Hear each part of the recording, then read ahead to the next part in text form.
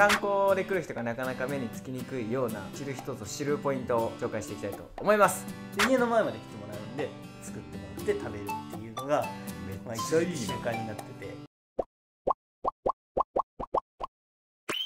はいどうも淡路暮らしたけですワニくんです夫ですえー今回は知る人ぞ知る淡路島の飲食店紹介半年前の自分に教えたいですね。そうやね。本当も淡路来てね。そうね。3ヶ月。3ヶ月にしてはね多分当初のワニ君よりは俺知ってると思う、あーなんか飲食店に関しては特に。ディープなとこばっか知ってるよ。ね メジャーなとこ逆にあんま知らないよ。今回は、まあ、観光で来る人がなかなか目につきにくいような知る人ぞ知るポイントを紹介していきたいと思います。はいじゃあ僕からいきますね。僕が特に気に入ってるとこがありまして、はい。チラックス。ああ優勝 おめでとそれ僕知らないんですけど。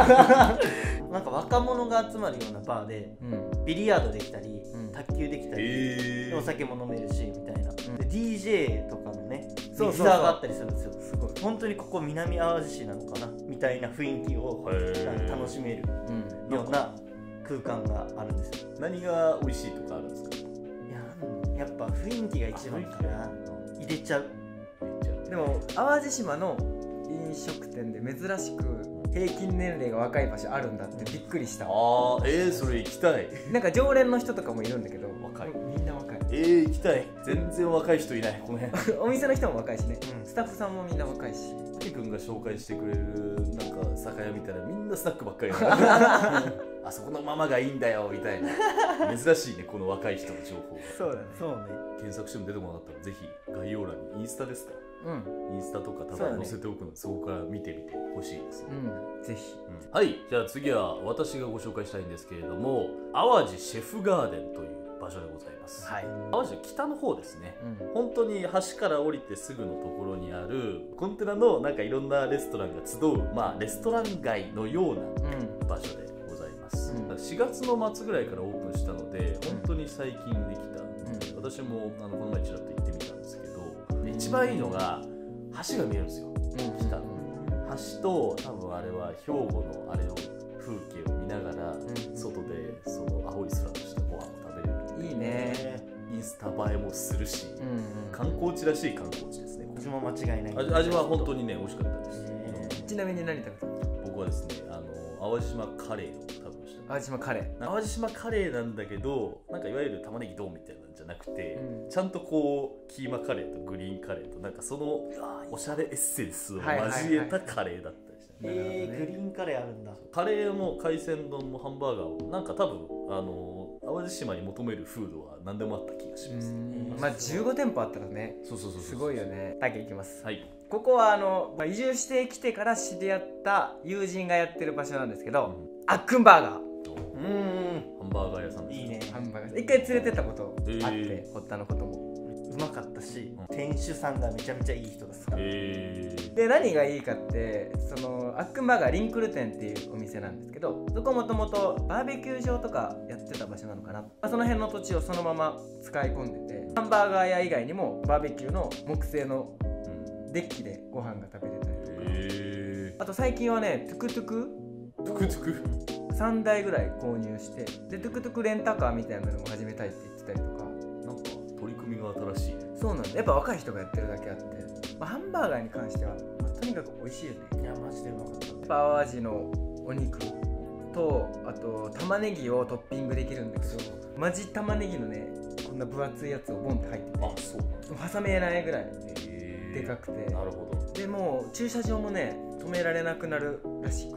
あそんなしてる。うん休みの日だと。なんで行くならちょっと早めに行って美味しいご飯を、まあ、テラスで食べてでまたトゥクトゥク借りて遊んだらいいんじゃないかなと。売ってるバーガーだけじゃなくて自分で好みでトッピングできるってさちょっとさ、うん。いいよねそうだね。行くたびにまた違う自分の好きなようにリメイクできる。そのタイプ俺淡路島で聞いたことない。そうだね。融通が利くというか。ねね、面白い。はい。じゃあ次に紹介したいのが千尋屋というお店でございますとにかく唐揚げがすごい有名なお店で、この淡路島出身のお相撲さんがよく食べてたんだよね、照強さんね。照強さん。子供の頃よく食べてたんだよね、確かね。そうそうそう。とにかく大きいんだよね唐揚げが。そう。なんかビビる。200円ぐらいするんですけどえ200唐揚げかと思ったらこうドンって。もうもうまマジでビビる。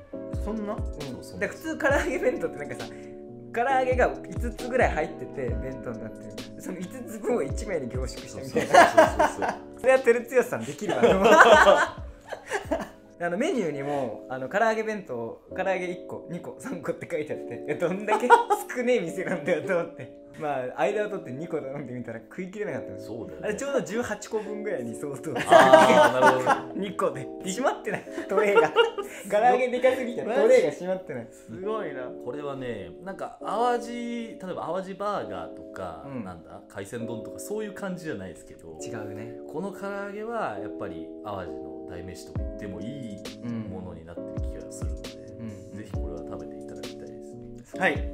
僕ですね。これはちょっとあれなんですね。昼間はやってないんですよね、うん。夜だけ限定になっちゃうんですけど淡路県。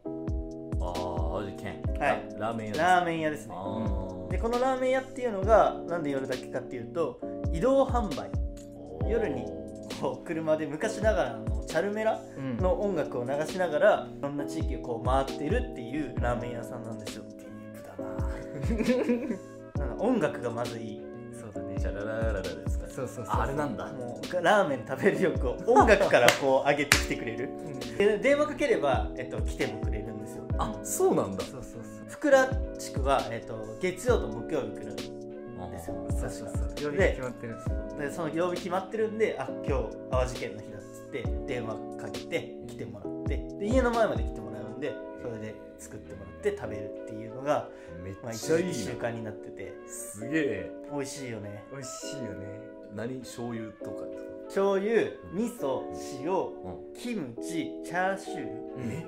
だっけ。そうそう。多分多分そんなもんやったと思う。なんかだいぶバラエティー飛んでる。当該の人が来て食べるとしたらどうするんですかね？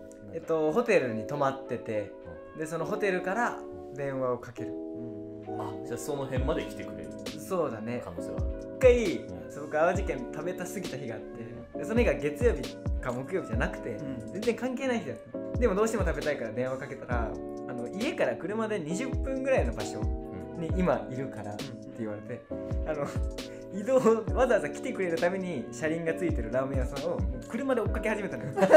どうしても食べたいから意味ねえやん。淡路県もこう常に動いてるから俺もこう頑張って探さなきゃいけないの。である時大きい大通りで淡路県とすれ違って「痛い痛い痛い痛い痛い痛い」っつって急いで U ターンして追っかけてえ食べましたね。はい。ということで知る人ぞ知る淡路島のスポット紹介してきましたけど。ー食べログとか載ってないよ多分この辺。そうだね。という意味ではディープな場所をご紹介できた気はしますけど。う淡路県とか巡り合えるかなこれ。でもちょっといいよね。レア感ある。レア感あるよね。ぜひそのレア感をつかみ取ってほしいよね。伝説のポケモンみたいな。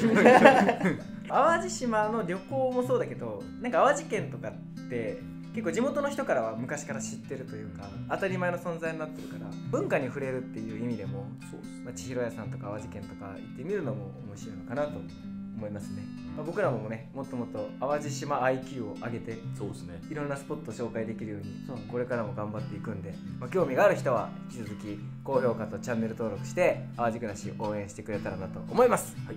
それではアディオス。アディオス